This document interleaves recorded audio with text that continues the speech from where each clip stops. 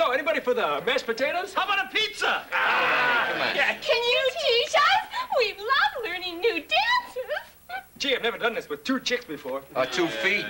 Ah, but it can be done. You'll see. Okay, like you're mashing potatoes on the floor. First you're one foot out twice, then the other foot twice. Again and again. Okay, now bring in the arms. Mashed potatoes.